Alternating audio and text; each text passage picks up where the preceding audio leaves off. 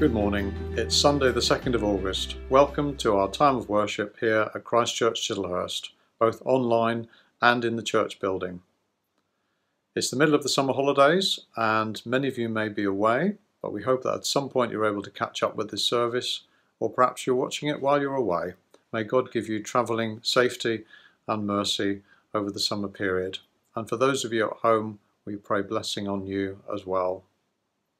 This, this online service will be continuing for many weeks to come so that everybody can access it.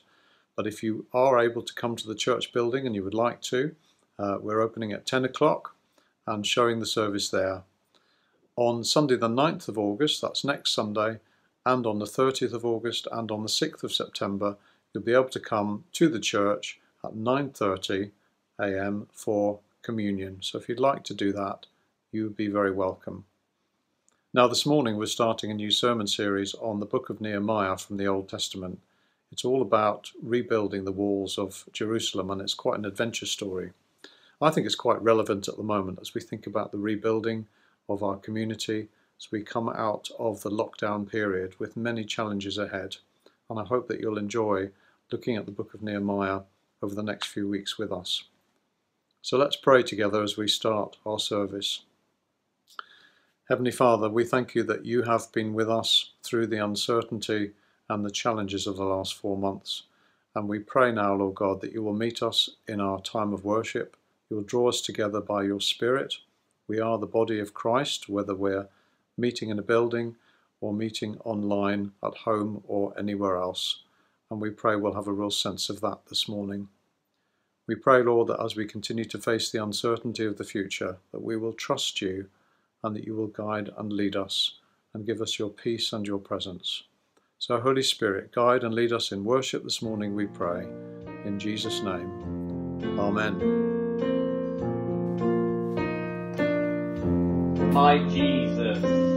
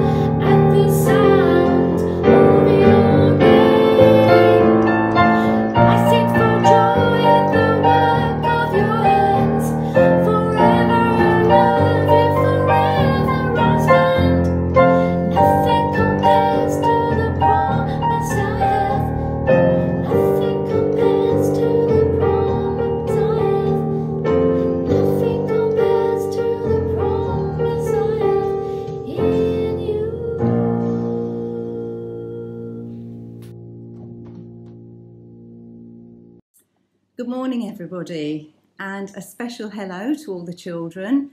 And I really hope there's some of you out there this morning. So I'm wondering how many of you have been busy making things or building things at home.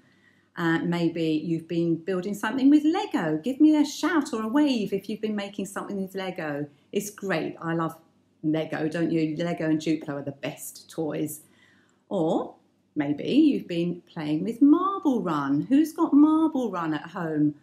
Actually, I find Marble Run is quite tricky, isn't it? Because you've got to get everything positioned correctly so that the ball rolls down to the bottom.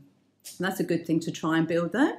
Or maybe you've been playing Jenga. Jenga's a great game to play, isn't it, as well? But I always find it a little bit frustrating when you pull the brick out and they all come tumbling down. But um, I've got something here that needs building. I have got a 1,000 piece jigsaw and I just do not know where to start. Look at all these bits here. There's too many bits. They're all different and it's a real muddle. It's just a mess in this bag and it's not actually going to look any good until all the bits are back together as they are in the picture. And it's a little bit like that, um, how it's been at church recently, where we've all been separated from each other for a long time because we haven't been able to run any of our groups. So I'm wondering if some of you are going to be missing coming to kids' church. Maybe you're missing challenge or messy church or coming down to ABC. And you're really looking forward to coming back together again. And that reminds me of a story in the Bible about a man called Nehemiah. And we're going to be looking at um, his story over the next few weeks. So here's a picture of Nehemiah. He had a very important job in the king's palace, and he was one of God's people. And at that time, all of them were living far, far away from their home back in Jerusalem. And here, here's a picture of Jerusalem. And can you see it's a huge city and it's got walls all the way around it. And they all had to go and live in another country. And Nehemiah and the rest of God's people thought that they would never be able to get back to home in Jerusalem. Now, one day, a visitor from Jerusalem came to visit Nehemiah and he had some bad news. He said, Oh, Nehemiah, it's awful in Jerusalem now. It's just crumbling, it's in ruins. All the walls are falling down. It's such a mess there. And Nehemiah was really upset when he heard that Jerusalem was falling down. He cried and he prayed to God about it. And later on, the king said that he could go back on the long journey back to Jerusalem and rebuild the walls to make Jerusalem right again. It was a huge, huge job because Jerusalem was such a big city, but Nehemiah knew that God would be with him to do that massive job. But it wasn't just the walls that needed to be built, it was the people that needed help as well. Some of them didn't have a home, some of them were starving, and lots of the businesses had been destroyed as well. But with God's help, Nehemiah did it. He built the walls, he built the community back together again with God's help. So, this jigsaw needs to be put back together, and it's the same with our church. All of us are really important. Each one of these pieces is an important part of our church. We're all different, but we're all important, even when we're not together. So I'm sure that you, like me, are really looking forward to the time when, with God's help, we will be all back together again at church. We're going to do a new song now. Like many of you, I'm sure you were very moved by Marianne's testimony a couple of weeks ago. And it occurred to me as well that a lot of things that have happened recently have all been connected to Psalm 91. So I was having a, a look through various hymn books and other sources, and there's actually no real song version of Psalm 91. And I thought, well, we ought to do something about that. So over the last couple of weeks, um, while we've still been in lockdown, I've had had it on my mind to try and put a tune to bits of Psalm 91. So that's what we're going to sing for you now. So it's a new version which I've written of Psalm 91, which we hope that you'll like and will be able to join in. You're going to help me sing?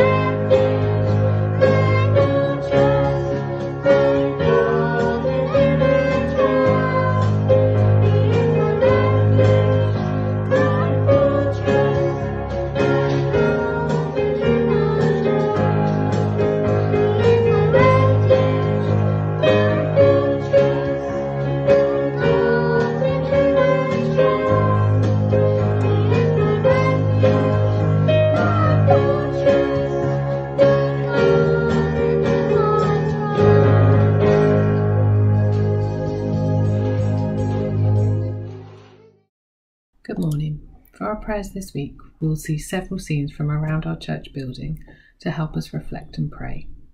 I encourage you to P, pause, R, reflect, A, ask, and Y, yield, to pray. This is taken from the 24 7 prayer movement and their app Lectio 365. So if you're in the church building today, you may like to turn and look at the different scenes as they appear on the screen and take in the pictures and their me- meanings as we pray together. So let's look at the first picture together. Dear Lord, thank you for your goodness and for your beautiful world that you have entrusted to us. We praise you with our voices in our homes and where it's safe to do so. We seek to worship you today and every day in spirit and in truth. With our lives, not just our voices. Lord, we thank you that your mercies are new every morning, and just as the sun shines through these windows, we thank you for your faithfulness. We thank you for art, for literature, song, dance, music, and comedy. and the wonderful ways in which we can experience glimpses of you through creativity.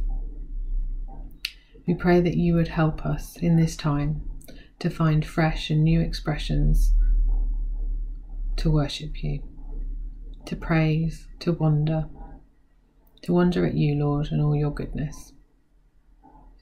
I pray that in this time that you would help us as we establish new rhythms and habits, and that you would be at the centre of those habits and rhythms. Lord, we praise you. Move to our second window. This one is on the left in the church and it's connected to the link. It's Jesus calming the storm. Take a moment to reflect. Lord, we pray for all those near to us and far away that find themselves in a storm. Whether it be through illness, unemployment, bereavement, or loss. Lord, we pray that they would know and feel your presence with them. Thank you that you are always with us, even when it doesn't feel like it, and that you stay with us in the storms, and that you are our comforter and our protector. Lord, I pray now for peace and for still waters for all of those in distress. We take a moment now to remember all of those who are unwell, to hold them in our thoughts and prayers. Lord, we pray for your healing touch.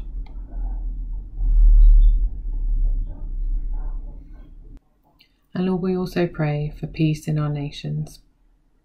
We pray for China and relations around the world. We pray for our worldwide church at this time.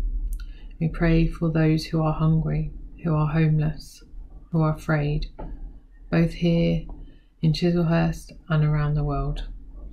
Lord, we pray that those around the world would know your peace, would know your comfort today and every day. Lord, we pray for peace.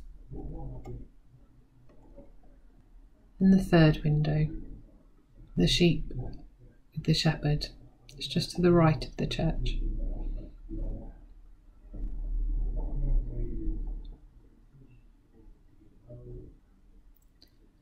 Thank you, Lord, that you teach us. Jesus taught with parables that his followers would understand. And I pray that we would draw close to you and trust you. Lord, I pray for an increase in our faith. Give us courage to speak out to those around us. Give us courage to trust you in difficult times. We pray now for all of those who are lost and have questions. We call to mind people who are yet to know you that we know. Lord, we thank you for the innovations that technology is enabling, that people can find out more about you online. But Lord, we pray for boldness, that you would give us words to say for people that we meet, who we speak to. Lord, give us words to say, hearts to love those around us, and to speak more of your faithfulness this week. Lord, we pray for opportunities for your gospel to be heard through us. Lord, we pray for the lost. And now we move to the resurrection window. It's, it's right at the front of church.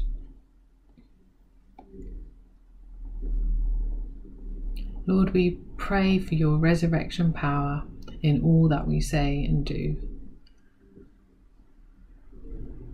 2 Corinthians, we have this treasure in jars of clay to show us that this all surpassing power is from God, not from us. For he who are alive are always being given over to death for Jesus' sake, so that his life may also be revealed in our mortal body. Peter Scazzero prays this Lord, everything in me kicks against going to the foot of the cross, where you will root out of me all that is not of you. Help me to not fear the deaths that it will take for me to be transformed into a free person who loves you and others well. Have mercy on me, O Lord. In Jesus' name, Amen. Lord, we pray for mercy. And lastly, we pray for our church, Christchurch Chislehurst. We pray for all of those that serve our church community in so many ways. We pray that the joy of the Lord will be a strength, will be endurance, will bring wholeness. Lord, it is a blessing to be part of your church. And we pray now prayers of protection, prayers of peace, prayers of joy over all our church staff and our volunteers. Lord, we praise and thank you that you never leave us. You are here in our midst today and always, that you call us out onto the water in your resurrection power to serve and to love. Amen. Nehemiah chapter 1 The words of Nehemiah son of Hacaliah. In the month of Kislev, in the twentieth year, while I was in the citadel of Susa, Hanani, one of my brothers, came from Judah with some other men, and I questioned them about the Jewish remnant that has survived the exile, and also about Jerusalem. They said to me, Those who survived the exile and are back in the province are in great trouble and disgrace. The wall of Jerusalem is broken down, and its gates have been burned with fire. When I heard these things, I sat down and wept. For some days I mourned and fasted and prayed before the God of heaven. Then I said, Lord, the God of heaven, the great and awesome God, who keeps his covenant of love with those who love him and keep his commandments. Let your ear be attentive and your eyes open to hear the prayer your servant is praying before you day and night for your servants, the people of Israel. I confess the sins of we Israelites, including myself and my father's family, have committed against you. We have acted very wickedly towards you. We have not obeyed the commands, decrees, and laws you gave your servant Moses. Remember the instruction you gave your servant Moses, saying, If you are unfaithful, I will scatter you among the nations. But if you return to me and obey my commands, then even if your exiled people are at the farthest horizon, I will gather them from there and bring them to the place I have chosen as a dwelling for my name. They are your servants and your people, whom you redeem by your great strength and your mighty hand. Lord, let your ear be attentive to the prayer of this your servant, and to the prayer of your servants who delight in revering your name. Give your servant success today by granting him favour in the presence of this man. I was the cupbearer to the king. This is the word of the Lord. Thanks be to God. Over the next few weeks, we're going to be looking at the book of Nehemiah from the Old Testament. And it's an incredible story, one of my favourites. It's like an adventure story. Reminds me of some of the films I used to watch when I was a boy. Do you remember the story of the Magnificent Seven? A Mexican village that was year after year attacked by bandits. And seven men had to come in and help that village to defend themselves and to rebuild what was going on there. Now, the story of Nehemiah is not that dissimilar, really. Um, years ago, thousands of years ago, the Hebrew people were taken into slavery by the Babylonians. Eventually, when they were in exile, the Babylonians were defeated by the king of Persia, and he was much more humane, and he allowed the uh, Hebrew people to return back to Jerusalem. Now, meanwhile, Nehemiah is cupbearer to the king of Persia, like a chief bodyguard, and he receives news from Jerusalem about what's going on there, and he says to the messenger who's come from that area, What's going on? How are my people getting on in Jerusalem? And the news isn't good. The messenger says, Well, the walls are broken down. We're really vulnerable to attack from enemy bandits and invaders from other countries. And Nehemiah is really moved by this. He's really upset. He's sad and he prays and he mourns and he fasts. He wants to do something about this. He wants to go back to Jerusalem and help the people there to rebuild the walls and to be able to defend themselves. Now, I like to think of the character of Nehemiah as being a bit like Chris in The Magnificent Seven, played by Yul Brynner. So bear with me here. Sometimes I like to think of an actor or think of a just be able to picture a face when I'm reading a story from the Bible. So let's have the story of Nehemiah played by Yul Brynner. Now, Yul Brynner had uh, fantastic uh, in in the film as Chris had leadership skills, and uh, it was a great uh, skills with with guns as well. And Nehemiah was a great project manager in the book of uh, the, in the, the book that we're reading about, but also he had one particular gift and skill that is really useful to us as well. Nehemiah knew how to pray. He was a man of prayer who trusted God even when things looked doomed to fail. Now, in many ways, we are in a time of rebuilding. Coronavirus has swooped in like an enemy, and much of our life, way of life, is in need of repair. Many of us will find it quite daunting when we consider how we're going to move forward, having been so restricted and locked down for so long. And we know we need to be careful. The COVID bandit is still lingering in the, in the background. The first chapter of Nehemiah tells us so much about what we can do when we're faced with an overwhelming situation that we feel called to do something about. So let's have a look at the response of Nehemiah to what was going on in Jerusalem. When he first hears that the walls are broken down and the people of Jerusalem, his people, are in real trouble and in danger, we're told in verse 4 When I heard these things, I sat down and wept. For some days I mourned and fasted and prayed before the God of heaven.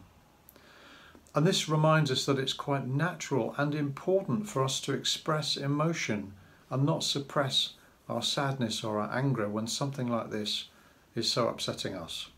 We may be deeply moved by the plight of people caught up in hardship, in poverty, or war, or oppression around the world. It can make us feel angry or can make us feel sad.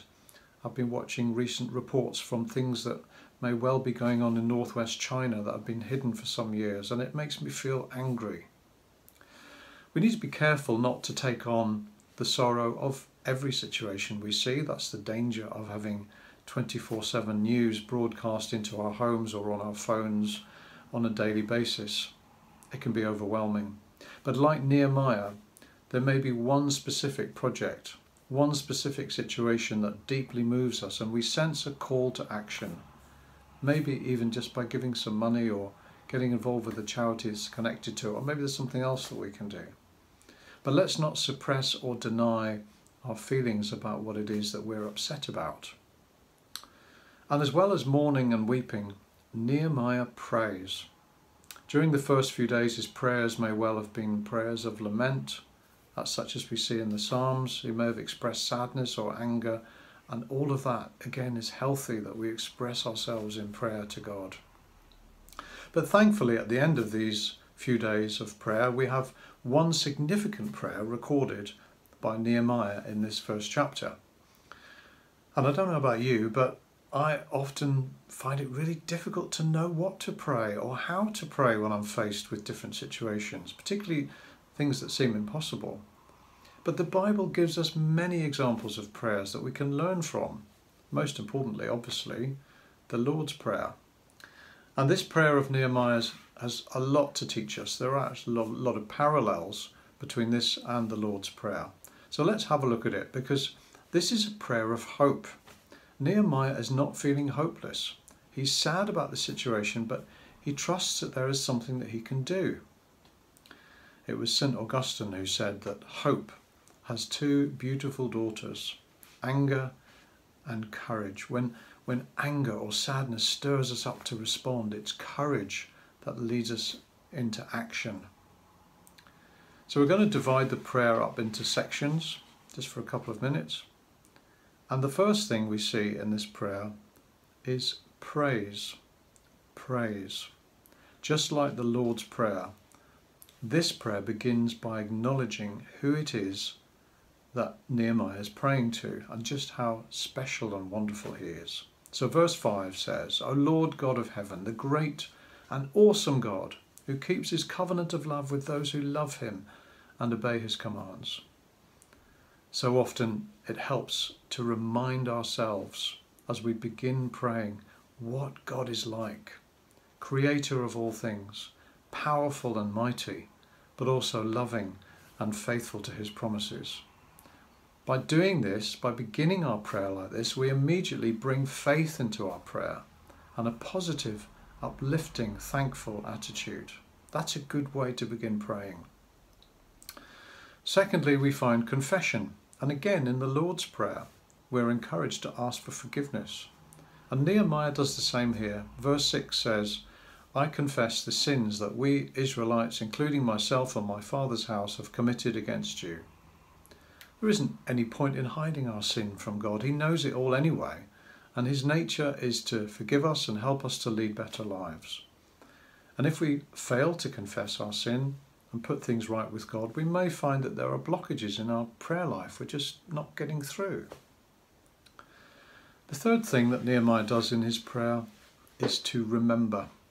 To remember. And this may not seem obvious at first, but it's important not to forget what God has done for us in the past.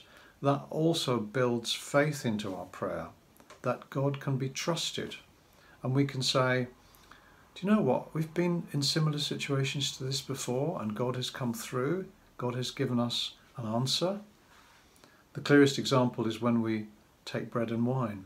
Jesus told us to remember him and that he died for us, that his sacrifice was for once and for all, for, for all time. So in verse 8, Nehemiah prays, Remember, Lord, the instruction you gave your servant Moses. If you return to me and obey my commands, I will gather them from there and bring them to the place where I have chosen as a dwelling for my name. And finally, he asks, there's petition. Finally, Nehemiah asks God for help. It's only at this point, at the end of his prayer, that he specifically asks. Verse 11 Give your servant success today by granting him favour in the presence of this man, because Nehemiah knows that he's going to have to go to the king, his boss, and say, Look, I need your permission to go back to Jerusalem for Nehemiah's mission impossible that he feels called to do. There's so much to learn from this prayer as we look ahead to a rapidly changing situation, the uncertainty of all that's happening at the moment in our nation, as a church, as families, in our workplaces, our community, um, and a situation that may well change again in the coming months. The uncertainty has the effect, hopefully, of teaching us to depend on God more than we ever have done. Just like Nehemiah had to do, he had to trust God. And as we go through the rest of this book, and we'll see this over the next few weeks, it was not a straightforward story. Uh, that's why it's, it's just such a great adventure story that we're going to be looking at. So, what is it this morning that really stirs you up, that moves you in the way that Nehemiah was moved? Something perhaps in the community around you, something in the world around you that you see and you're angry or you're sad and you think, there must be something I can do. Pray about it. Use Nehemiah's prayer as a starting point.